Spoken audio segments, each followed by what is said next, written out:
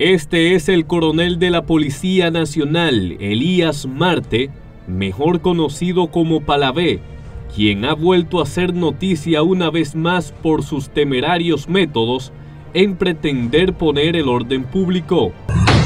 ¡Párame, ¡Páramelo! ¡Páramelo! ¡Páramelo! ¡Aceléramelo!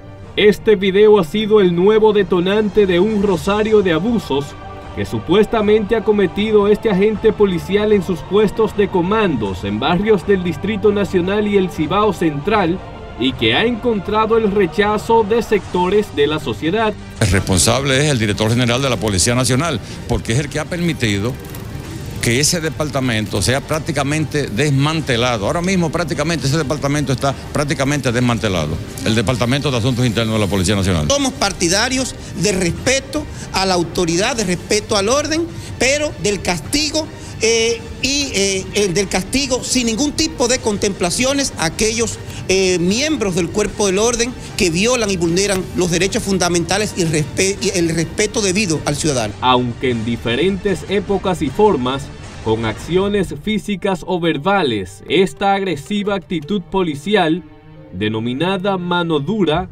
no es exclusiva de este agente también ha sido adoptada en generales como el ex jefe de la policía, Pedro de Jesús Candelier, y Reynoso Robles, y en ocasiones aplaudidas por ciudadanos. Dice que él maltrata, pero que hace el trabajo.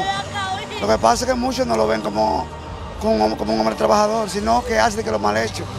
No le gusta la delincuencia, como no le gusta a nadie, uno, uno le gusta que sean rectos, que no, que no, que no sea de lo mal hecho. Con la delincuencia le muy bien, trabaja bien con la delincuencia.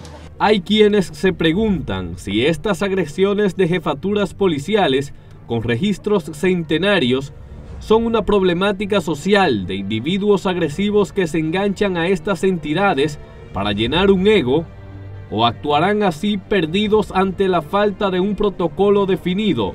¿Lograría una mano férrea organizar la sociedad dominicana?